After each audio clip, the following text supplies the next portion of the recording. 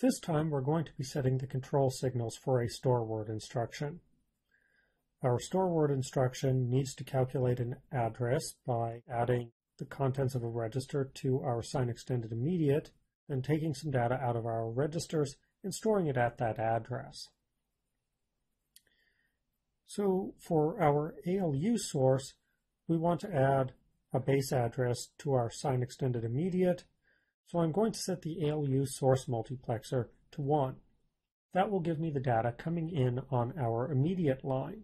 We don't need to write anything back to the registers this time. We're just going to store something into memory instead. So I'm going to set the reg write signal to 0. I'm not doing a memory read instruction.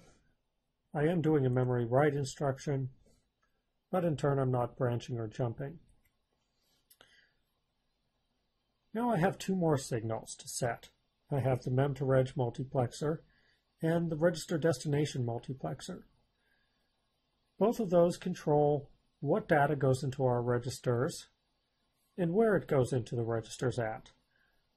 But I'm not interested in storing anything into a register. In fact, I've set my reg write signal to zero. So it's not actually going to matter what I send to the registers or where I say I might be interested in storing it to. I'm simply not going to write anything back to the registers, so I'm going to just put in X's for those two. It actually does not matter what those control lines are set to. We can set them to whatever is easiest for us.